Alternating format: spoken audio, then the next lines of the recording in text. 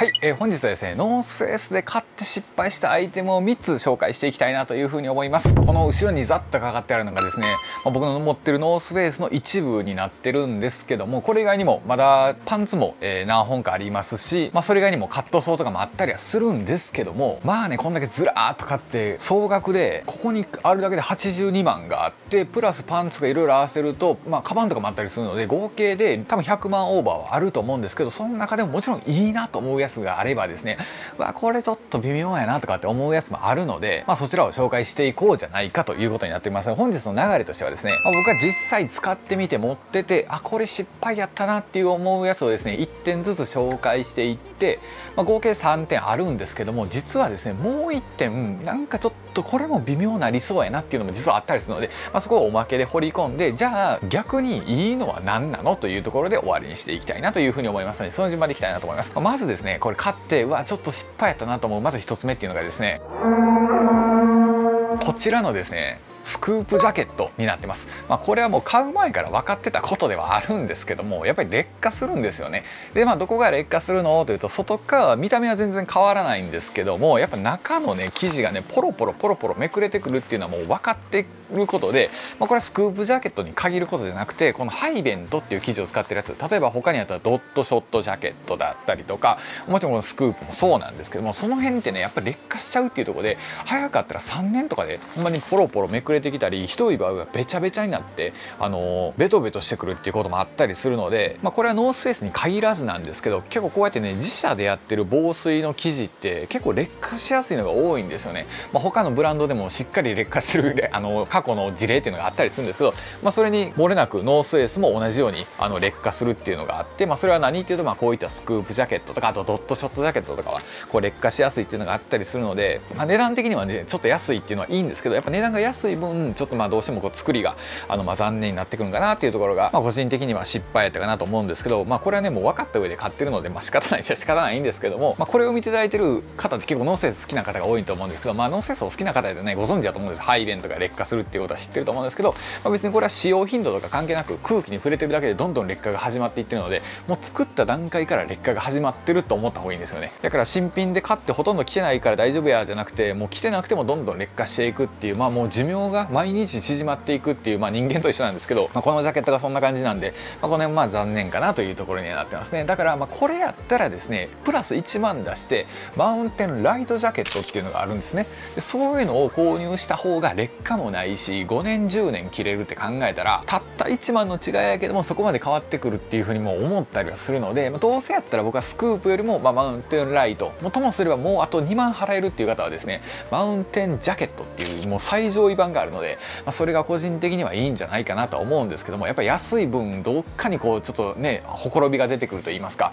ノースフェイスで比較的ねこのマウンテンパーカー系めちゃくちゃいいんですよ。でそれこそ僕他のいろんなメーカーも持ってるんですけど他のいろんなブランド見てもちょっとやっぱりノースフェイスとアークテリクスぐらいはマウンテンパーカーのレベルが違うなっていうふうに思うぐらいクオリティがめちゃくちゃ高いんですよね。だからその分ちょっとこのハイベントが残念すぎるかなというところでこちらのスクープジャケットが買って失敗かなというふうに思います。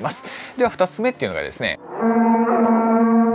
ちらのマウンテンライトジャケットになります。でえさっきまでお前マウンテンライトジャケットえええ言うてたやないかいっていうことやと思うんですけどもちろんマウンテンライトジャケットはいいんですよ。ただこれマウンテンライトジャケットにプラス1万乗ってるんですね。もともと定価が3万9000円がなんか4万円ぐらいなんですけどプラス1万で5万円ぐらいしてて何が違うのというとですねノースフェイスのちょっとこれ微妙やなと思うところがデニムなんですよね。デニムがちょっと弱めっていうところがちょっと僕的には残念かなと思ってるんですけど正直1万上げるクオリティここにあるんかなっていう正直思うんですよね、というのも結構僕ものづくりが好きやったりとかしててほんまに染色の本場とかに工場にもよくお邪魔したりとかしてるんですけど実際この染色してる様子とかその工場の仕組みとか人件費とかいろいろこう考えたりとかしたらですねこれってやっぱり国産で生産してるわけじゃないんですよね。海外で生産しててでデニムって聞くだけで一見高く見えると思うんですけど染色に関してはそんなに違いってないんですよね。って考えると染色にそんな違いないのに1万円も上がるかと思うとですね結構これはまあぼったくりまではいかないんですけど、まあ、僕としてはそこまで出す価値あるんかなとかって思ったりするのでやっぱり海外メーカーの藍で染める、まあ、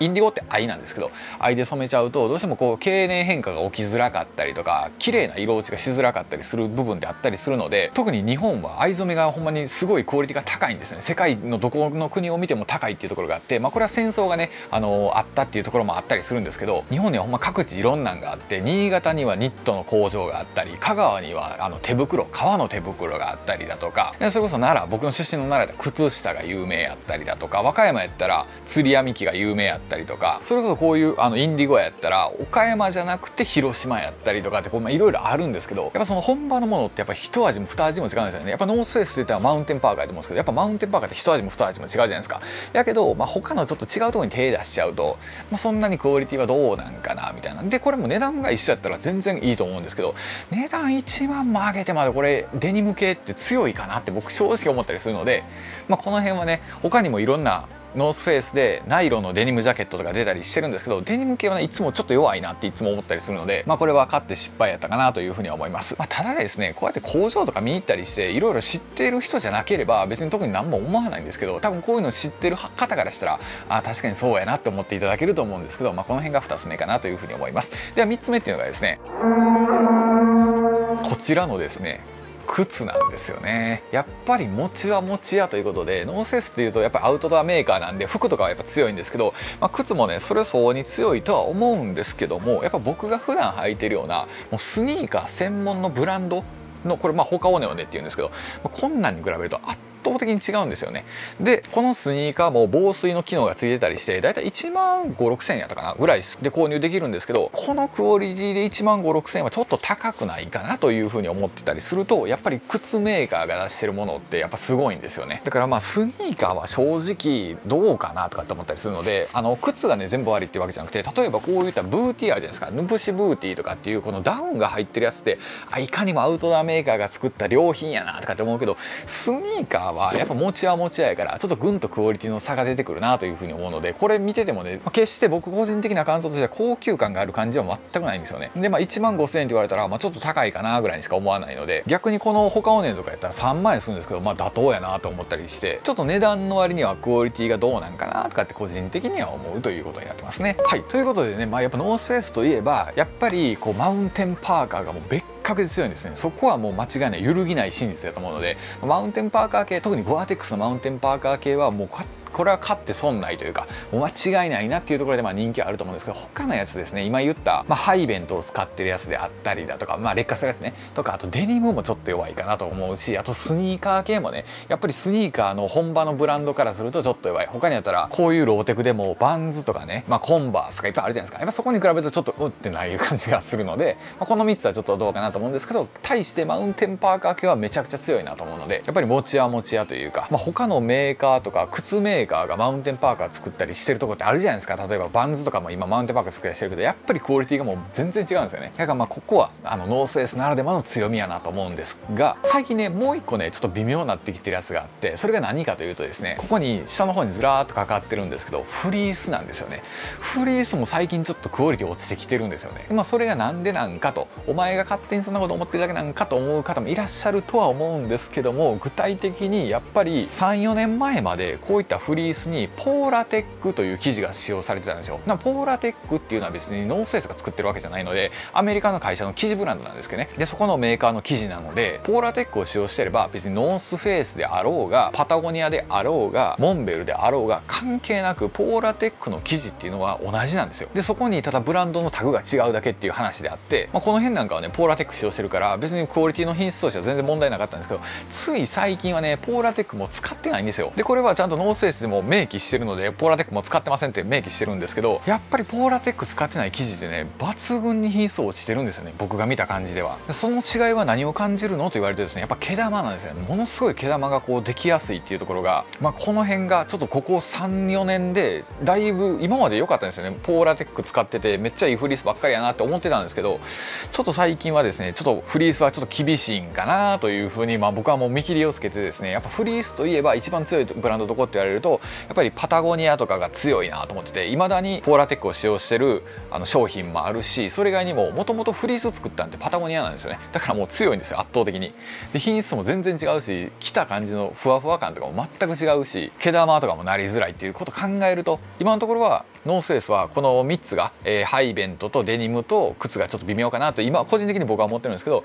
ちょっとこのままいくとフリースも微妙になってくんちゃうかななんて思ってるという今日この頃でございます、まあ、なので今回言ったのは、まあ、あくまで僕の個人的な感想です。しもちろん自分で買ったやつばっかりなんで買ったやつを踏まえて、まあ、どうやったかっていうお話はしたんですけども、まあ、それぞれやっぱ会社とかも強みってあるじゃないですか。例えばなんですけど僕あの髪の毛ねあの切ってるカットしてるとことカラーしてるとこ違うんですよね。それって同じ美容師さんでもカラーのうまい美容師さんとカットのうまい美容師さんっていてはるじゃないですか。それと一緒でアウトドアメーカーでもキャンプとかテントに強いメーカーがあればあとマウンテンパーカーに強いメーカーもあるしフリースに強いメーカーもあるし雨具に強いメーカーもあったりするんですよね。やっぱそれぞれやっぱ用途が違うから、まあ、僕はこんだけ買ってみて思うんですけど特にアウター系は強いなっていうふうにノースフェイスは思うので特にマウゴアテックスを使ったやつですよね。この辺は強いなと思うのでこれはもうぜひぜひおすすめしてますし僕はあの案件も頂いてないのにずっとノースフェイスのこのマウンテンジャケットがいいですよいいですよってもう言い続けてますのでこれはめちゃくちゃおすすめなのでちょっと高くて5万するんですけど5万は絶対元取れますよと。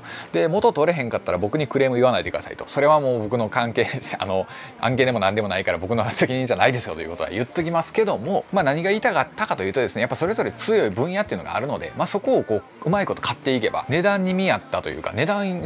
以上のクオリティのものをま手にできるんじゃないかなというところで、まあ、今回お話しさせていただきました。ということになってます。本日はですねノースフェイスで勝って失敗したアイテム3点かっこ負け1点を紹介してみたという動画になってます。また別動画でお会いしましょう。ありがとうございました。